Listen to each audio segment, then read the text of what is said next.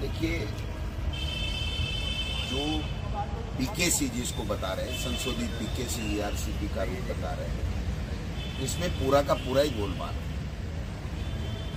ये परियोजना, जितना पानी हमें पहले जो डीपीआर बनी थी, वसुंधरा राजे जी के समय उसी एक हज़ार से भी ज़्यादा एमसीएम पानी कम मिलेगा और पेयजल की पूर्ति भी नहीं हो पाएगी। सिंचाई की दो पॉइंट अस्सी लाख हेक्टर सिंचाई की बात करना तो बेमानी।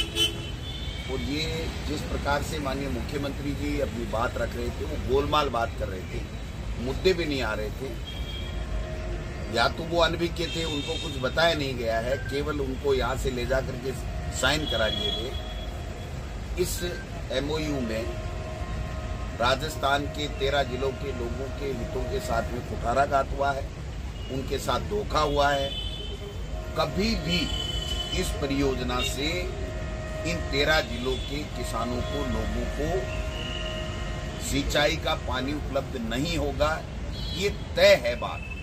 लेकिन ये लोकसभा के चुनाव में गोलमाल करके, स्पष्ट बात नहीं करके और ये बच के निकलना चाहते हैं और लोकसभा चुनाव में इसको बुलाना चाहते हैं, लेकिन ये राजस्थान की जनता सब जानती है, सब पढ़े लिखे लोग हैं।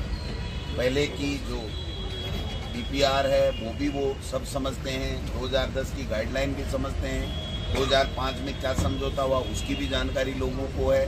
उन्नीस सौ निन्यानवे में क्या समझौता हुआ, उसकी भी लोगों को जानकारी है। अब कितना पानी मिलने वाला है, कब तक ये पूरी होने वाली है, इसका कोई रीजन नहीं है। और मुख्यमंत्री स्वयं सदन में ये गोलमाल जवाब दिए कि आप दोगे, उतना पानी दिला देंगे। ये इसी में ये स्पष्ट हो जाता है कि उनके कोई नॉलेज में नहीं है। और जो पानी बताया जा रहा है, वो पानी 3510 एमसीएम नहीं मिलेगा, किसी भी सूरत में नहीं मिलेगा। इसमें मध्य प्रदेश जीता है। हमारे राजस्थान के हितों के साथ में समझौता हुआ है और उठाराघात हुआ है और गलत तरीके से एमओयू हुआ है। केवल और केवल जो हमने पाँच साल दबाव बनाया और दस हज़ार करोड़ से भी ज़्यादा के जो काम चालू कर दिए, वहाँ के लोगों को पेयजल उससे घबरा करके और उसका माइलेज कांग्रेस को नहीं मिले लोकसभा चुनाव में, उनका माइलेज लेने के लिए ये इस तरीके का जो एमओयू बता रहे हैं, वो किया गया है। मैं समझता हूँ कि हम सब लोग सदन में भी हमने विरोध किया है और सदन के बाद सड़क में भी विरोध करेंगे। इन तेरह जिलों में इनकी पचास सीटें आई हैं और तीस के लगभग हमारी सीटें हैं। इनको पता लग जाएगा जब लोकसभा